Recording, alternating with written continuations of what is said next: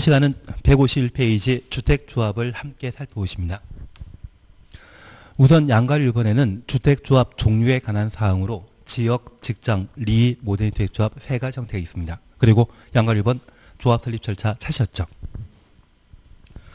우선 동그라미 1번 보시게 되면 지역, 지장 주택조합 설립과 관련되어 많은 수의 구성원이 주택을 마련하기 위해 마련 추천했습니다. 지역, 직장, 리, 모델 주택조합 모두에 적용되는 사안입니다. 조합을 설립하는 경우에는 시군 구청장에게 인가받아야 하고 가로 속에 국민택 공급하기 위한 직장주택조합의 경우는 제외한다. 국민택 공급하기 위한 직장주택조합은 신고하고 조합을 설립하게 됩니다. 그래서 국민택 공급이란 말이 달려 있다고 하면 직장주택조합은 인가 대상이 아니라 신고 대상으로 파악해 놓습니다. 그리고 리어머입니다 주택을 마련하기 위해 주택조합을 설립 인가 받는 자는 다음 요건을 모두 갖춰야 되는데 단서 보시면 변경 추놓습니다. 해산 추놓습니다. 그러하지 아니하다. 변경 해산 시에는 대지에 대한 토지에 대한 사용권이나 소유권 필요 없습니다. 그래서 조합 설립 인가 받을 때만 주택 건설 대지의 80% 이상의 사용권 확보해야 되고 주택 건설 대지의 15% 이상의 소유권 확보한 때 지역 주택조합과 직장 주택조합을 설립할 수 있습니다. 종전에는 사용권만 인정하다가 이번에 법이 개정되면서 소유권을 요구하게 되었습니다. 규제 강화된 것입니다. 그리고 2번입니다. 리모델링 주택조합 설립하고자 한다면 시군 구청장에게 인가 받아야 되는데 다음 페이지 보시면 주민 동의 요건으로서 전체 리모델하고자 한다면 전체 3분의 2와 동별 과반수 동의 필요하고 2번 한 개 동을 리모델하고자 한다면 그 동의 구분 소유자 및 의결권 3분의 2 이상의 동의 받아야 됩니다. 그리고 3은 직장 주택조합 설립과 관련된 신고에 관한 사안들을 각각 서술하게 됩니다. 그리고 2번 조합 설립 요건에 대해서는 천천히 해나가십니다. 그리고 옆에 페이지 보시면 3번 조합 해산 차셨죠. 주택조합은 설립 인가 받은 날부터 3년 되는 날까지 3년부터 가로 열어놓습니다. 사업계획 승인 받지 못하는 경우 못하는까지 가로 닫아놓습니다. 종의 의결 거쳐 해산 여부 결정하여야 한다. 그리고 2번입니다. 주택조합의 발기인은 발기인 추천없습니다. 조합원 모집 신고 수리된 날부터 2년 되는 날까지 조합 설립인가 받지 못하는 경우 그래서 조합원 모집 신고 수리된 날 조합원부터 가로 열어놓으시고 2년 추천없습니다. 설립인가 받지 못하는 못하는 가로 닫아놓습니다.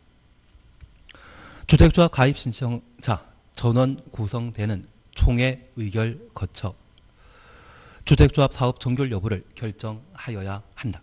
그래서 2년, 3년 각각 눈에 익혀주셔야 됩니다. 3번 절차에 대해서는 일단 지나가십니다. 그리고 한 장 넘기십니다.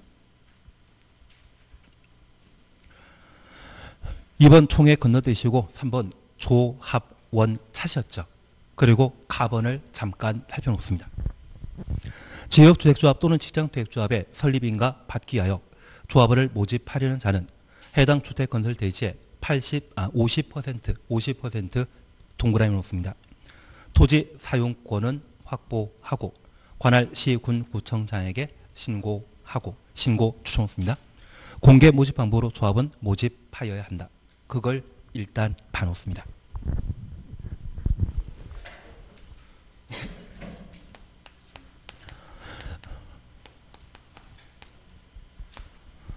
주택 건설 절차에 관한 사항으로 사업처에 관한 내용을 우리가 함께 보십니다. 통상 사업자와 관련되어서는 등록 사업자에 관한 내용과 얘는 5년에 한 번 시험에 나옵니다. 가끔 나옵니다. 그리고 주택조합. 주택조합은 작년까지 매년 시험에 나왔었습니다. 그런데 이 주택조합이 7월 달에 대폭 개정됩니다. 이렇게 시험 직전에 개정되게 되면 출제위원들도 난감해서 시험에 안 내는 경우가 있습니다. 만약 안 나온다고 하면 등록 사업자에 관한 내용이 시험에 나오길 겁니다. 올해가 그 해입니다. 대신 최근 5년 사이에 매년 주택조합에 관한 문제가 다루어졌기 때문에 이번에 개정되는 사항에 대해서 어느 정도 파악하시는 게 필요한 듯합니다. 그러면 제가 이 말씀 하나 드릴 게 있습니다. 최근 10년 사이에 주택조합 중에 지역주택조합이 4만 5천 세대 아파트 건설하겠다고 주택 건설 사업과 관련된 절차를 진행했는데 실제 10년 사이에 4천 세대만 공급되었었습니다. 보통 서울의 지역 주택조합에 가입하고자 한다면 가입비나 업무 추진비 등을 고려하면 7천에서 8천 정도를 내야 됩니다. 그런데 그 돈을 냈는데 불구하고 10년 동안 사업을 제대로 시행하지 못하게 되면 그 업무 추진비 등은 빵이 되어 버리거든요. 그래서 사기 피해가 그렇게 많았습니다. 그러한 문제점을 해소하고자 이 조합 설립과 관련된 사항들을 대폭 개정하게 되었는데 특별히 조합을 설립하고자 한다면 조합 설립하기 전에 지역 직장 주택 조합의 경우는 조합원에게 주택을 공급하는 사업 주체이거든요. 그래서 조합원을 모집해야 됩니다. 그리고 이 조합원을 모집하고자 한다면 시, 군, 부청장에게 조합원 모집 신고해야 되는데 이러한 조합원 모집 신고 당시에 주택 건설 예정지 전체 면적의 50% 이상의 사용권을 확보해야만 조합원 모집 신고 절차를 진행할 수 있습니다. 만약 주택 건설 예정지의 면적이 만약 2만 제곱미터라고 하면 2만 제곱미터라고 하면 최소한 만 제곱미터의 토지 소유자의 동의 받아야만 조합원 모집 신고 절차를 진행할 수 있습니다. 이렇게 조합원 모집 신고하고 조합원을 모집하게 되면 주택 건설 예정 세대 수가 만약 1000세대라고 하면 50%인 무주택 세대주 또는 85제곱미터 이하의 주택을 한 채 소유한 자 절반 이상을 조합원으로 모집하게 되면 조합 설립 인가를 신청할 수 있습니다. 저 조합 설립 인가 신청하고자 한다면 조합은 당연히 확보돼야 됩니다. 최소한 예정 세대수의 얼마? 50%. 그리고 주택 건설 예정지에 전체 면적의 15%에 대해서는 매매 등의 방법으로 소유권을 취득해야 되고요. 그리고 전체 예정제 80% 이상의 땅에 대해서는 사용권을 확보한 때만 조합 설립 인가를 신청할 수 있습니다. 그래서 저 인가 신청 시에는 지역 직장주택 조합의 경우는 조합원과 주택 건설 예정지에 대한 일정한 소유권과 사용권 확보해야 되는데 소유권은 15%, 사용권은 80% 이상 확보한 때 조합 설립 인가를 신청할 수 있습니다. 그리고 이 조합 설립 인가 받게 되면 사업계획 승인 대상 주택 건설 사업을 진행하기 위해 사업계획 승인 신청하고 사업계획 승인 받아야 됩니다. 이 사업계획 승인 받고자 한다고 하면 원칙적으로 주택 건설 예정제 100% 소유권이나 사용권 확보하고 사업계획 승인 신청할 수 있고요. 예외적으로 지구 단위 계획 결정이 필요한 주택 건설 사업. 그래서 지구 단위 계획으로 주택 건설 사업 하게 되면 95% 이상의 소유권이나 사용권 확보하고 그 나머지 토지에 대해 매도 청구 가능하면 사업계획 승인 받을 수 있습니다. 그리고 이 사업계획 승인 받게 되면 그때부터는 일사천리입니다. 대신 이 사업계획 승인 받기 전까지는 주택건설 예정지에 대한 소유권을 주택건설 사업을 진행하는 자 이때는 누구이겠습니까? 이번 우리 지역주택조합 만들어서 조합택 한번 만들어 보자. 그런 의지를 표명하는 발기인이 존재하거든요. 그리고 조합 설립 인가 받게 되면 임원에 해당되는 조합장, 이사, 감사가 존재하게 됩니다. 이들이 조합택 건설 사업을 진행하게 됩니다. 그래서 이러한 절차를 진행하는 자 최초 누구이다? 발기인이 되게 됩니다. 우리 중에 나중에 발기인 되실 분도 계시죠?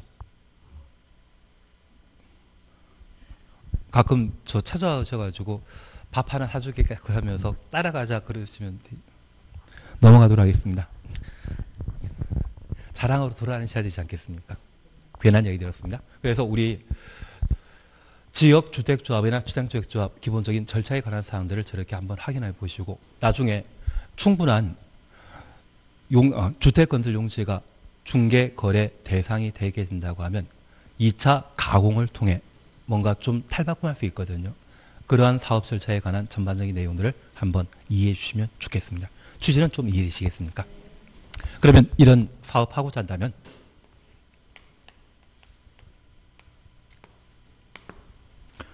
주택조합을 설립해야 할 겁니다.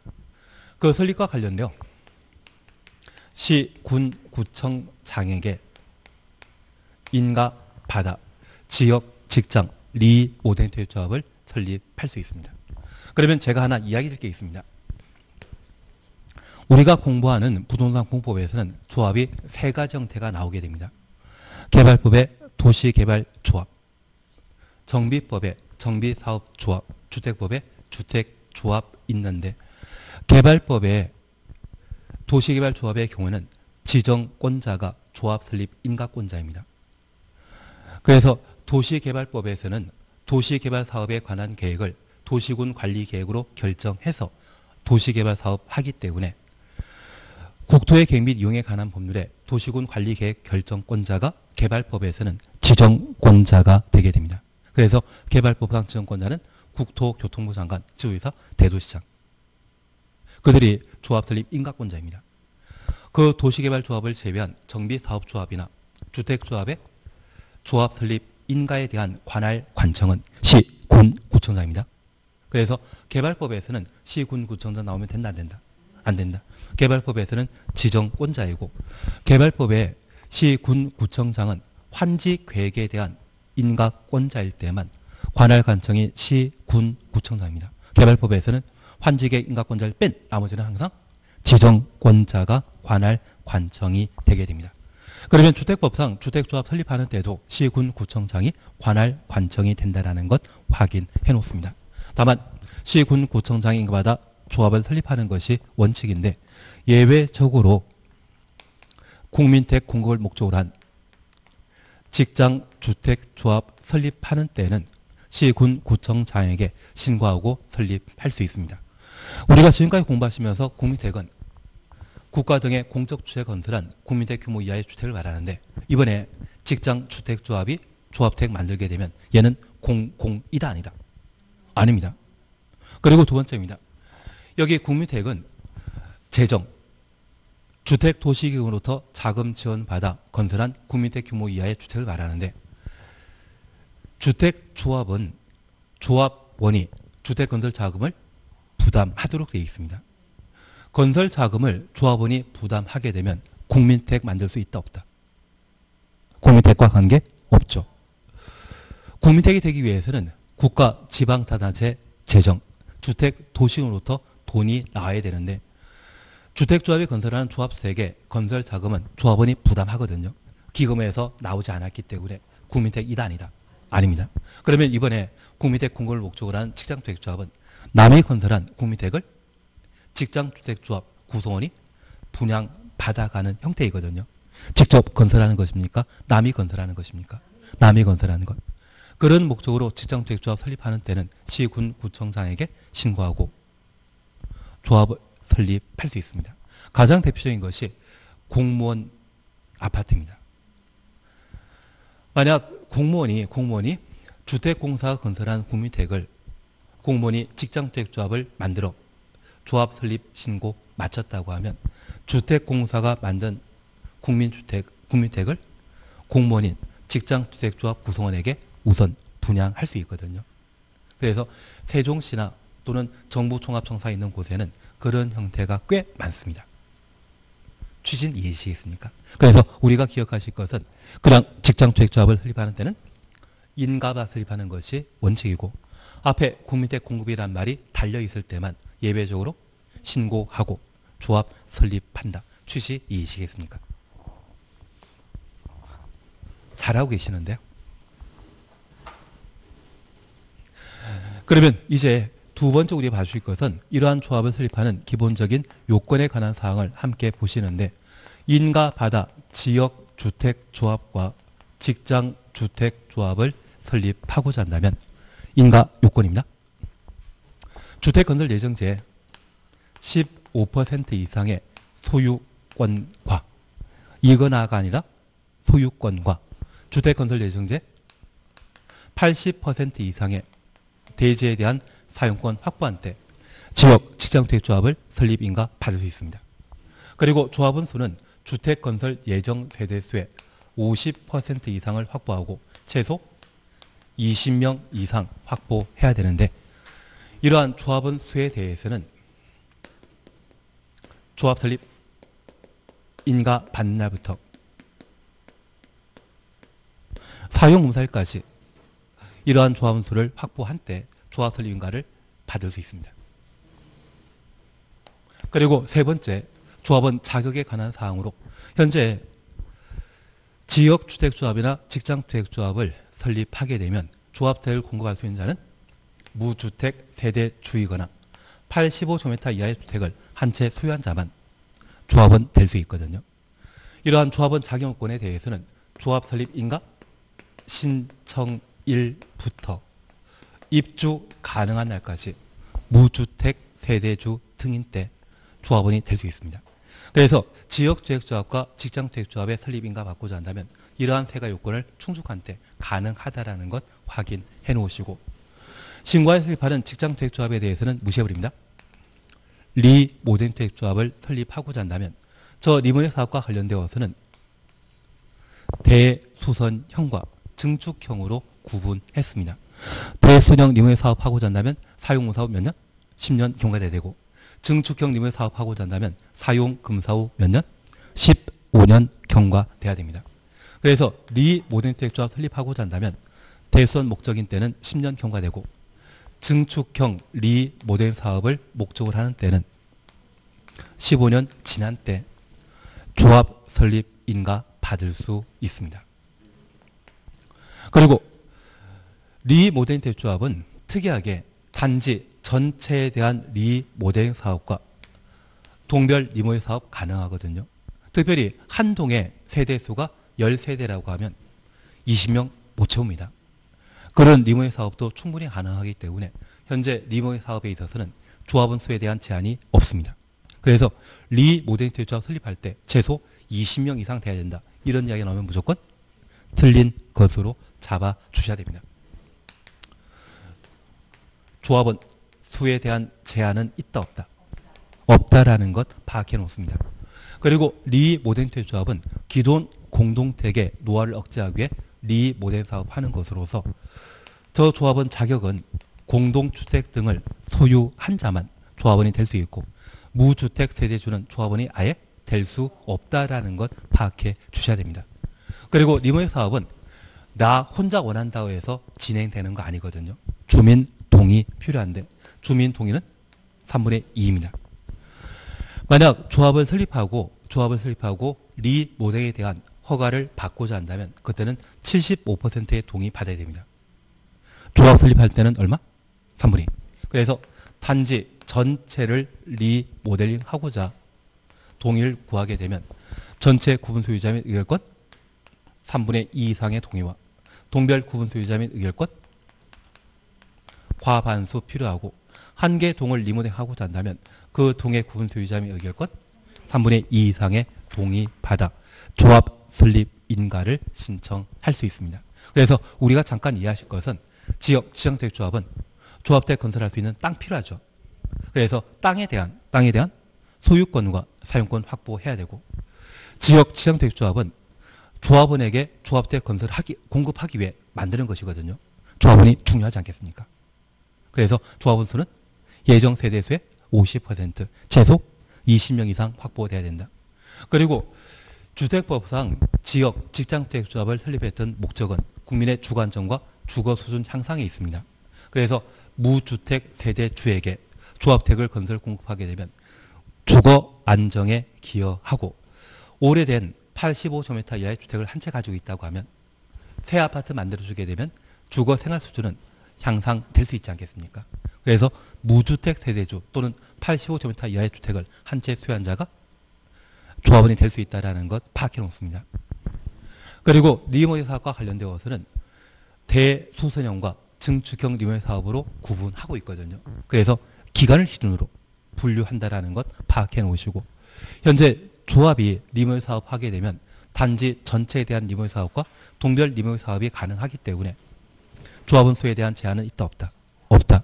기존 공동택의 노화를 억제하기 위해 리모델하기 때문에 소유자만 조합은 될 수 있고 무주택자는 조합은 되는 것 아닙니다. 그리고 주민 동의 필요한데 조합 설립할 때는 얼마? 3분의 설립된 리모델 조합이 리모델에 대한 인허가 받고자 한다면 75%의 동의 받아야 할 겁니다. 그에 관한 사항들을 각각 보신 겁니다. 교재 잠깐 확인하십니다.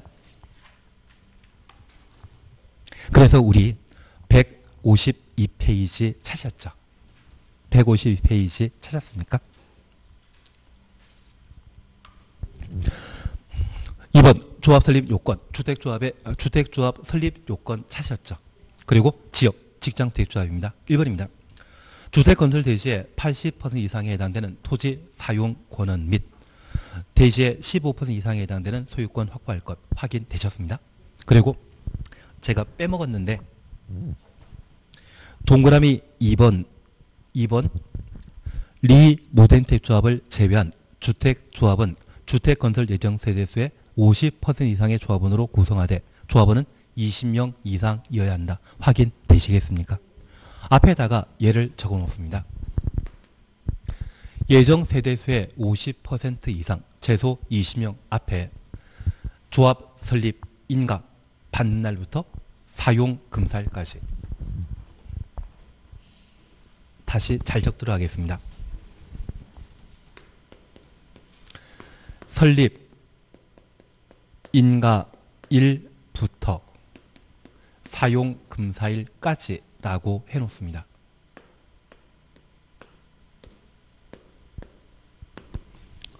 조합 설립 인가 받은 날부터 사용 금사일까지 조합원은 몇 명? 예정 세대수의 50% 최소 20명 이상. 그래서 설립 인가일부터 사용 금사일 앞에다가 추가해 놓습니다. 제가 나중에 자료를 따로 만드는 게 더 빠르겠죠. 예, 알겠습니다. 그리고 3번 찾으셨죠. 주택조합 설립 인가 신청일, 신청일 주놓습니다. 부터 해당 조합 주택의 입주 가능일, 입주 가능일 주놓습니다. 주택을 소유하지 아니하거나 85제곱미터 이하의 주택을 한 채 소유한 세대 주인 때 지역 직장주택 조합을 설립할 수 있습니다. 4번과 관련되어서는 신고 대상 직장주택조합의 조합원 자격은 국민택 공급이 목적이기 때문에 무주택자만 조합원 될 수 있고 85제곱미터 이하의 주택을 소유한 자는 조합원 되는 것 아닙니다. 그러면 우리 잠깐 이해해 주실 것이 있습니다. 여기 지역주택조합과 직장주택조합의 조합에 가입할 수 있는 자격은 무주택 세대 주인 때 조합에 가입할 수 있거든요.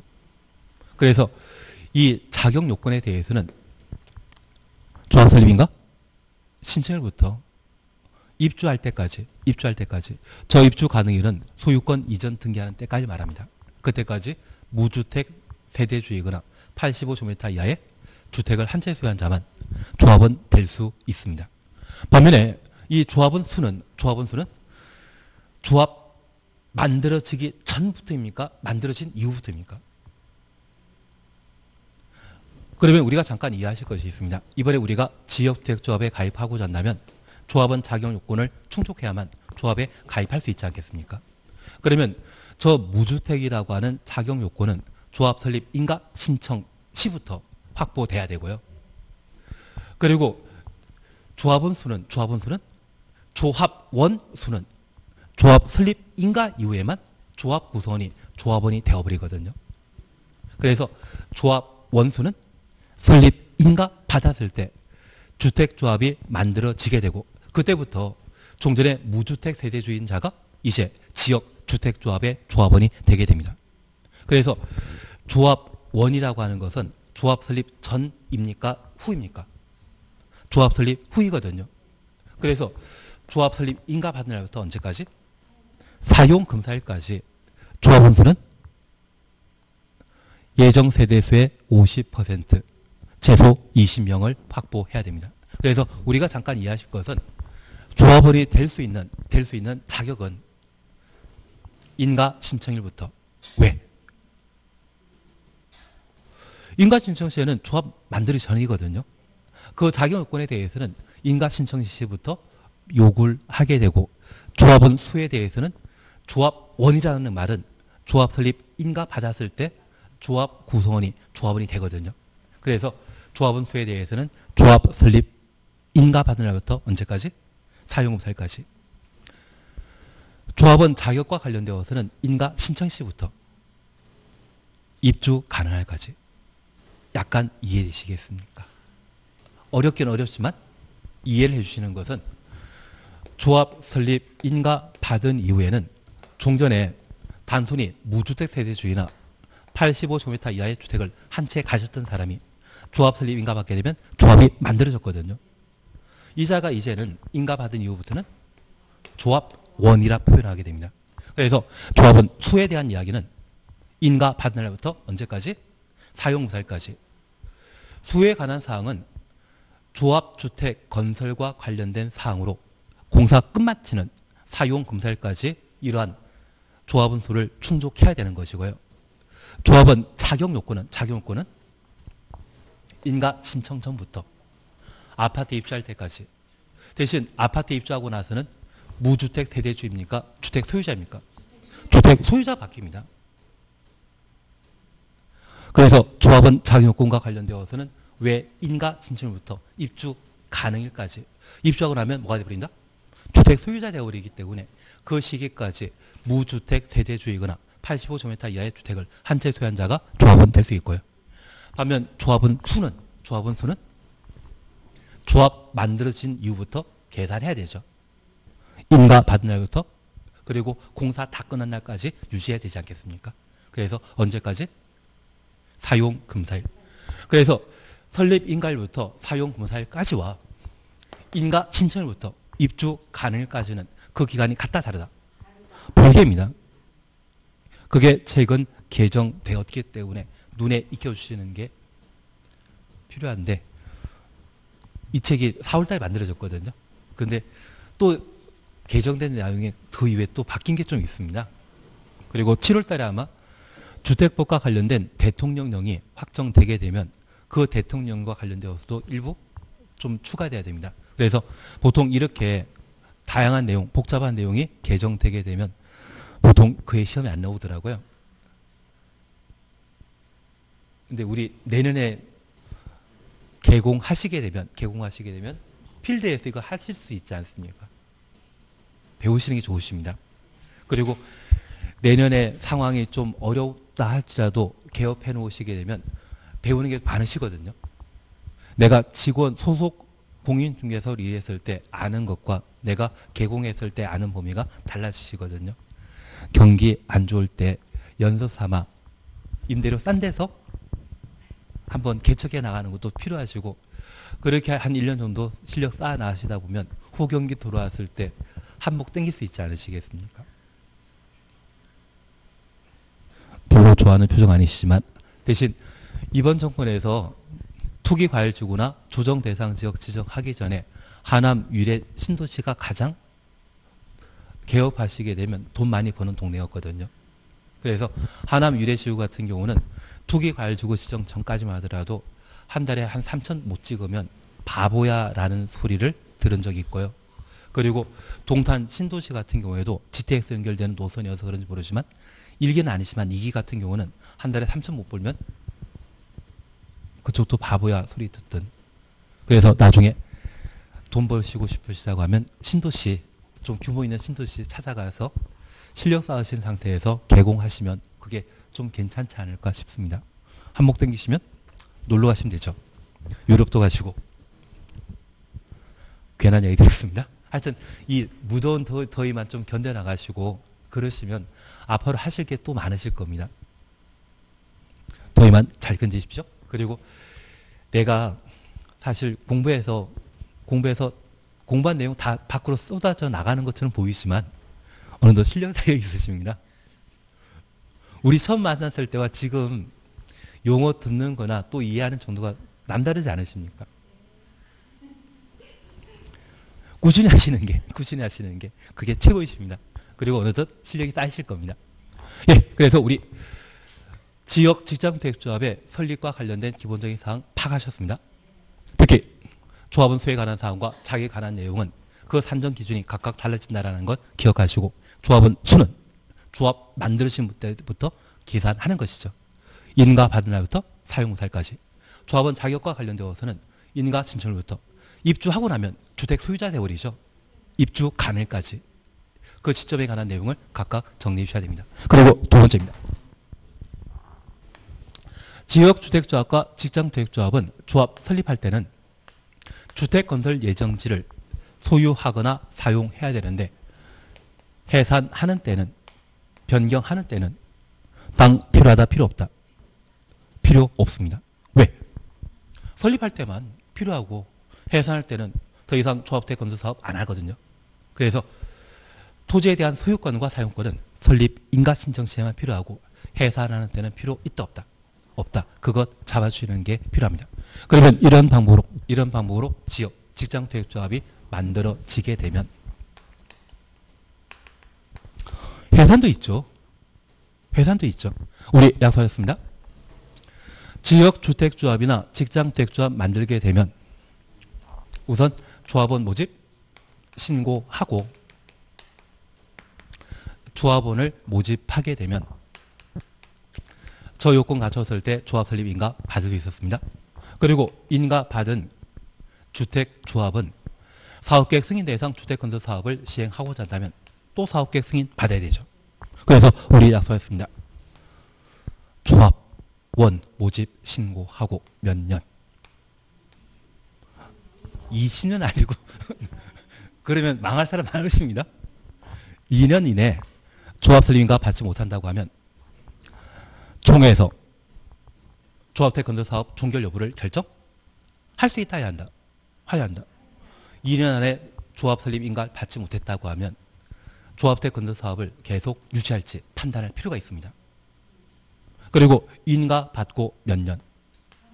3년 내 사업계획 승인 받지 못한다고 하면 조합 만들어진 상태이죠.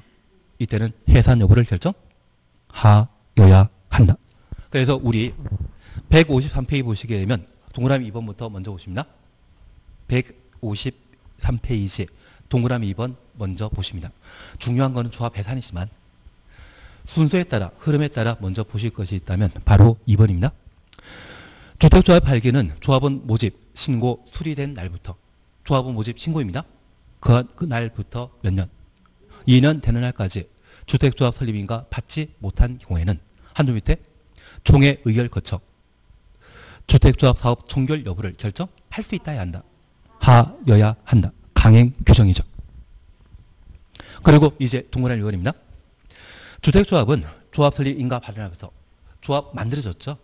3년 내 사업계획 승인 받지 못한 경우 총회 의결 거쳐 해산 여부 결정 하여야 한다. 그래서 우리 개정된 개정된 주택 법령에 따라 지역 지원택조합 설립하고자 한다면 우선 뭐부터 해야 된다? 조합원 모집 신고하고 인가 받으면 이제 사업계획 승인 대상 주택건설 사업을 진행하기 위해 사업계획 승인 받아야 되죠. 그래서 조합원 모집 신고한 날부터 2년 내 조합 설립인가 받지 못한다면 총회에서 사업 종결 여부 조합 만들기 전 상태이죠. 조합 만들기 전 상태이죠. 조합 건설 사업 한다 안 한다 그걸 결정하여야 하고 인가 받았다고 하면 조합 만들어진 상태입니다. 몇 년? 3년 내 사업계획 승인 받지 못한다고 하면 해산 여부 결정 하여야 한다. 되시겠습니까? 저는 잘하는 것처럼 보이는데 다음 주면 또 기억이 없으시죠? 대신 반복하다 보면 실력이 점점 쌓여 나가시지 않나 싶습니다. 예, 그렇게 이런 방법으로 조합이 만들어진다라는 것 확인해 놓습니다. 이렇게 조합이 만들어지게 되면 조합 구성 형태는 현재 세 가지입니다. 모든 조직은 세 가지로 형성되게 됩니다. 임원과 총회와 조합원으로 구성되게 되는데 우리가 국가조직이라는 걸 보면 그 국가조직에는 행정부와 사법부와 입법부가 있지 않습니까? 사법부는 재판하는 곳이기 때문에 별개로 하고 행정부의 성격 가지는 임원, 입법부의 성격 가지게 되는 총회, 국회입니다. 그리고 국민의 성격 가지게 되는 조합원. 이게 도시개발 조합이건 정비사업 조합이건 주택 조합이건 다 똑같습니다. 그래서 임원과 총회와 조합원으로. 그 중에 임원과 관련되어서는 크게 시험글이 없더라고요. 그리고 총회와 관련되어서도 시험글이 없는데 억지로 시험에 내긴 내더라고요.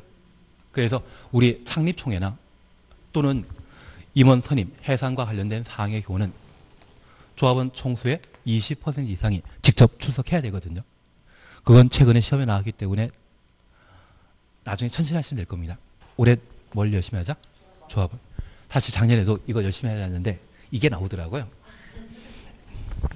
엿먹으라고 내는데 제가 뭐라 할 수가 없고 그냥 당하는 쪽으로 예 그러면 우리 잠깐 153페이지 찾았습니까? 양관 3번 구성 찾으셨죠? 그리고 1번입니다.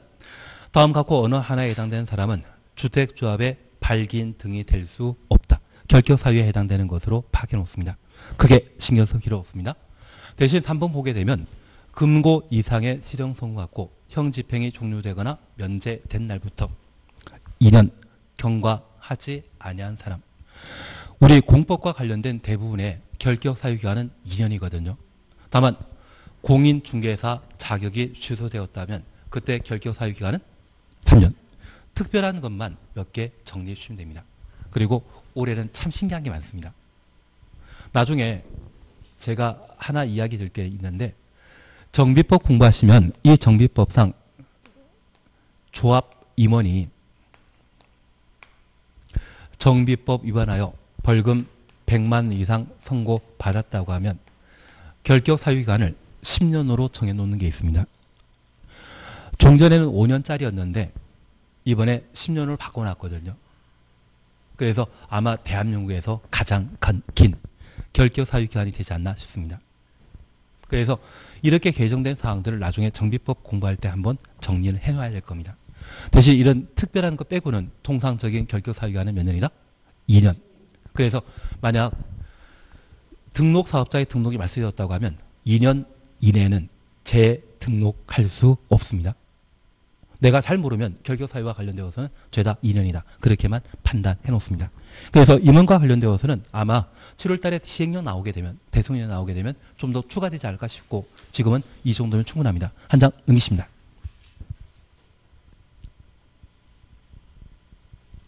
동그라미 2번 보시게 되면 주택조합의 발기인 등이 다음 어느 하나에 해당되게 되면 발기인 지위는 상실하고 임원은 당연 퇴직한다. 그리고 1번 차시였죠. 주택조합의 발기인 자격 기준을 갖추지 아니하거나 임원이 조합원 자격을 갖추지 아니하게 된 경우 조합원 자격 추천없습니다. 우리가 알고 있는 조합원 자격은 무주택 세대주이거나 85제곱미터 이하의 주택을 한 채 소유하는 것이었죠. 만약 주택 85제곱미터 초과하는 주택을 가지게 되거나 집을 두 개 가지게 되면 임원 자격 상실 하게 될 겁니다. 그 정도면 충분하지 않나 싶습니다. 그리고 3은 이해되는지 봐주십시오. 지위가 상실된 발기인 퇴직 임원이 지위 상실이나 퇴직 전에 관여한 행위는 그 효력 상실하지 아니한다. 그런데 우리가 민법 공부하시면서 선이 악이란 말 우리 공부하신 적 있죠. 민법과 관련된 사항은 상대방을 보호하는 것입니까? 본인을 보호하는 것입니까? 상대방 보호 규정입니다. 다만 무능력자에 해당되는 미성년자 등에 대해서는 본인 보호를 예외적으로 인정한 것인데 항상 선의의 제3자를 보호하는 것이 민법의 대원칙이거든요. 그러면 퇴직한 임원이 퇴직 전에 각종 행위를 했다고 하면 선의 제3자를 보호하기 위해 퇴직 전의 행위에 대해서는 효력 잃지 아니한다. 계속 유효한 것으로 인정해 줘야 되죠. 그래서 얘는 민법의 정신을 그대로 반영해 놓은 것으로 파악해 놓습니다. 도식하면 중전 행위에 대해서는 효력 상실한다. 이 말 나오면 틀립니다.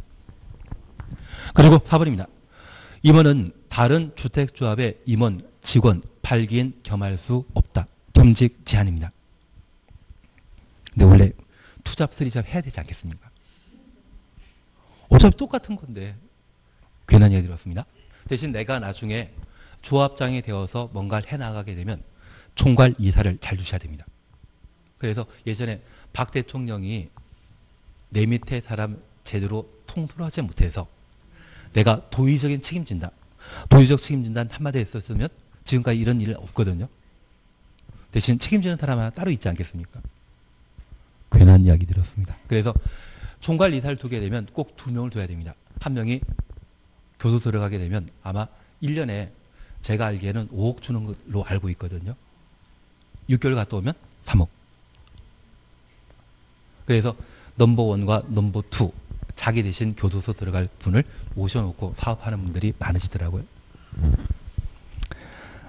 험한 이야기 드렸죠.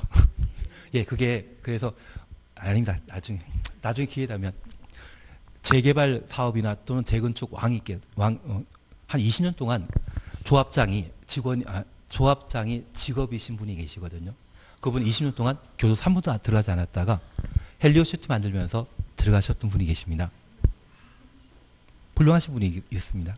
하여튼 그런 훌륭한 분이 되기 위해서는 총괄이사 number two, number 아, number one, number two까지 잘 둬야만 사업 진행할 동안 안심하고 잘 하시더라고요. 나중에 그 일은 천천히 해 나가시면 될 겁니다. 그리고 이번 총회와 관련된 사항인데 얘는 최근 시험에 나왔기 때문에 크게 문제 없을 겁니다. 다만 우리 두 번째 주 보시게 되면 창립 총회 등은 조합은 20% 이상이 직접 직접 출석해야 된다. 확인되시겠습니까? 그래서 이번에 한남 3구역에 시공자 선정과 관련되어서는 중요한 사항이다. 대충 할 사항이다. 아, 중요한 사항입니다. 우리 3번 보게 되면 시공자 선정. 많이 모여야 되죠. 아니면 총회 자체가 무효가 되어버립니다. 그래서 서울시장님의 집합금지 명령에 불구하고 부덕불 출석하지 않으셨겠습니까? 예, 이런 거 시험에 나오면 안 되죠. 알겠습니다. 넘어가도록 하겠습니다. 다만 제가 하나 부탁드릴 것은 4번에 임원 선임 해임이란 말 찾았습니까? 그래서 도시개발조합이건 정비사업조합이건 주택조합이건 임원 선임 해임은 총회 의결 사항입니다. 아주 중요한 총회 의결 사항이라는 것만 파악해 놓습니다. 3번 조합원 찾으셨죠? 얘는 잠깐 치웠다 하십니다.